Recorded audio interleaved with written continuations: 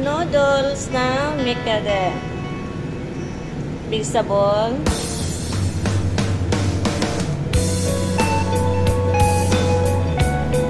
Mga panakot.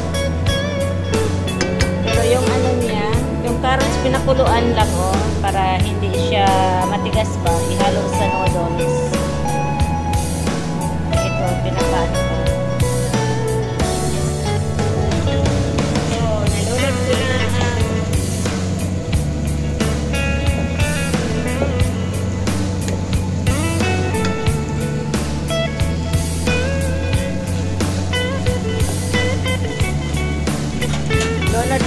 pansit. Pansit pa ng balalit.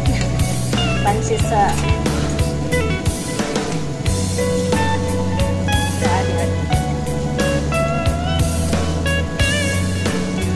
ada karot.